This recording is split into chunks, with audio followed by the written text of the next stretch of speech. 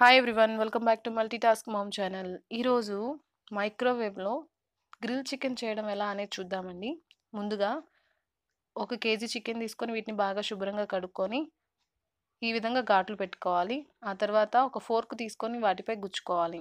తర్వాత పసుపు అల్లం వెల్లుల్లి పేస్ట్ కారము సాల్ట్ ధనియాల పౌడర్ అలానే ఒక పూర్తిగా పిండిన నిమ్మకాయ జ్యూస్ ఇవన్నీ వాటిలో వేసుకొని బాగా మిక్స్ చేసుకోవాలి.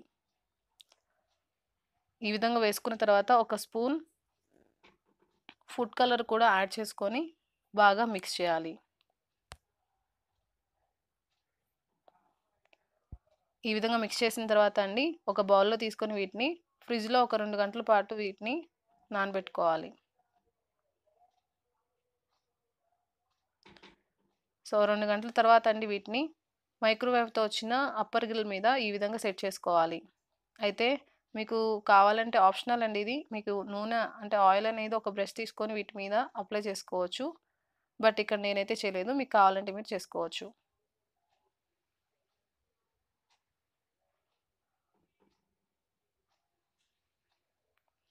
సో ఇప్పుడు మైక్రోవేవ్ ఆన్ చేసుకొని వీటిలో ఈ విధంగా సెట్ చేసుకోవాలి.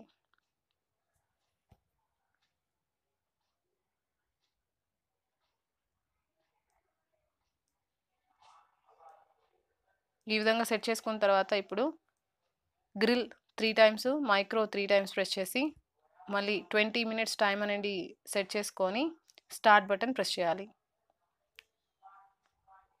ఇలా చేసిన తర్వాత హాఫ్ టైం అయిన తర్వాత అంటే పది నిమిషాలకి వీటిని స్టాప్ బటన్ ప్రెస్ చేసి ఆపేసి వీటిని టర్న్ చేసుకోవాలి.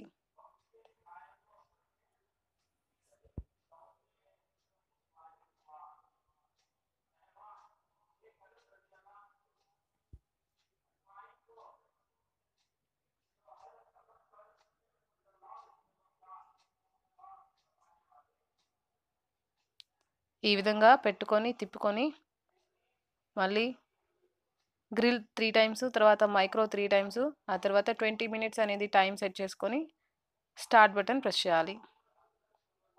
సో ఇప్పుడు ఇరవై నిమిషాలు అయిన తర్వాత అండి వీటిని స్టాప్ బటన్ ప్రెస్ చేసి బయటికి తీసి సర్వ్ చేసుకోవడమే.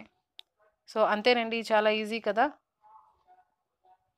వేడివేడిగా గ్రిల్ చికెన్ టేస్టీగా ఉంటుందండి చాలా జ్యూసీగా స్పైసీగా మీకు ఎక్కువ కారం కావాలంటే కారం కూడా ఎక్కువ వేసుకుంటే మీకు స్పైసీగా ఉంటుంది.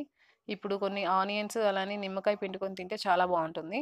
సో మా పిల్లలైతే దీంట్లో సాస్లో వేసుకొని తింటారు.